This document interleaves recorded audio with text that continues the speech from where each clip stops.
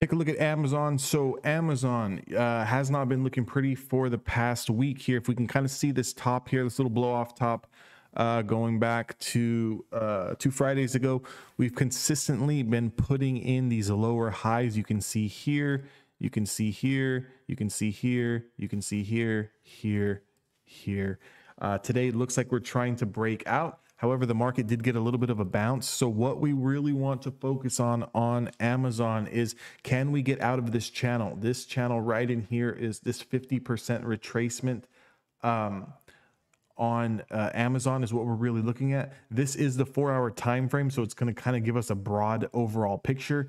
Uh, you know, definitely right now is a cash flow scalpers market. You really don't want to put on any swing trades just due to the fact that, you know, one downtick or one headline that comes across the media can, you know, either ramp us up. And if you're short, that's going to crush you or flush us out. If you're long, it's going to really start to hurt you. So, however, if you are holding uh, some Amazon, maybe you're holding some options contracts or something, this is what we're really looking for here going into tomorrow, which is going to be this, uh, the 7th of, of, um, December.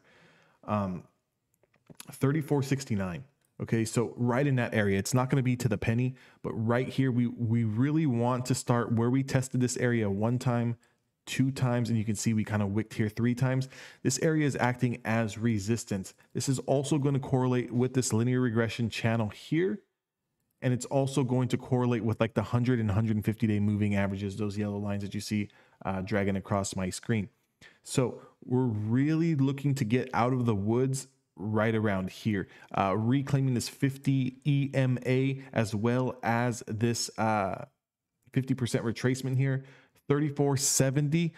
Um, I know that's still a while's uh, a while away, but here's the thing: if you start playing Amazon on a on a green day like this, okay, and we start playing the bounce going forward, okay, even though we do have some room here, if we do come into the supply, get rejected, Amazon can easily flush back down into the golden pocket here at around 3,400, which is around 27, 30 points away. That's definitely not what you're going to want to see especially with the volatility and the way that the market has been trading until the triple Qs start reclaiming some of these moving averages. And, and the first one that we really need to uh, start reclaiming is a 20 day moving average.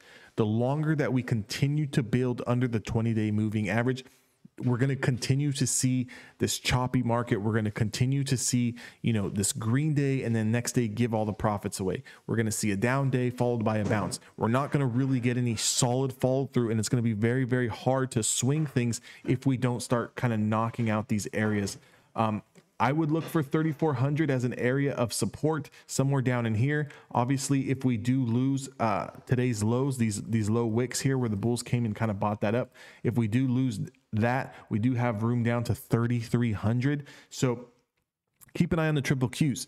The triple Qs have tested that $380, 378 area in between that range two times. We tested it once on Friday and we tested it once today if we go through this week and we test it one more time and break through, you are definitely going to see Amazon come down here and start testing this $3,300 range.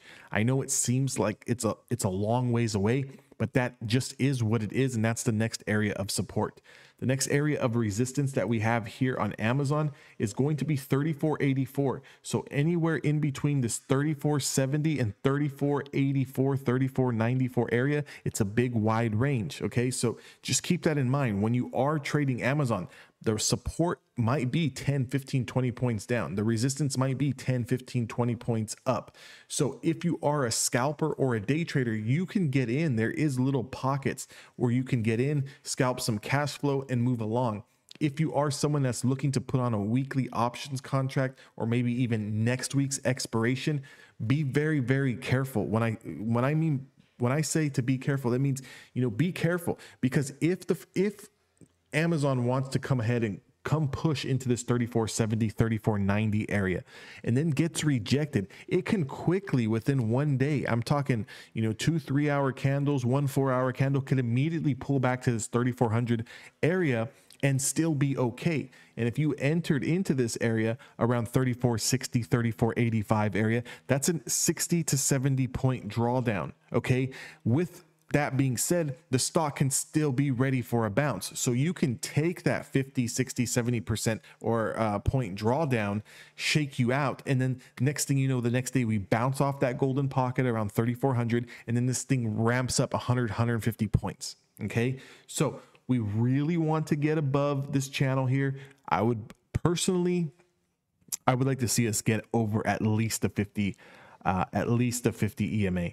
That price is going to be right here around 34.95 i mean there, there's no other there's no other real way to say it. You know this is a choppy environment. This is a volatile market. Everybody wants you know volatility until volatility is slapping you in the face going the opposite direction.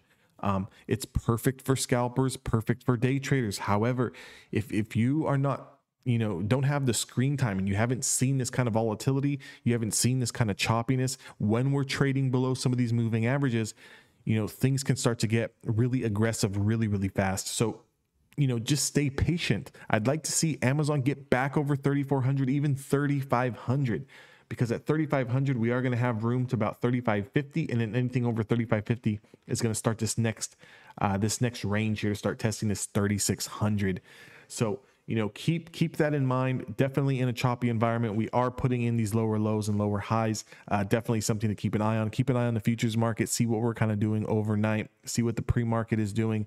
If we do come up to this area 34 70 34 area start to chop around and then we see a rejection and we start to see some selling pressure down and the futures and the triple q's are also pulling down too just be careful. If we do lose that 3469 area after reclaiming it uh, we do have room down to 3400 if we never make it to the 3470 3485 area well then right now our level of support is 3400 okay? So just keep that in mind. If we lose 3400 our next area of support is going to be down here around 3340 and 3300 so you know crazy market just be smart play it safe and I will see you guys all in the next video. Guys, if you want to join my Discord, that link is down in the description box below. Also, give me a thumbs up on this video, subscribe to my channel, and leave me a comment, and I will catch you guys all in the next one.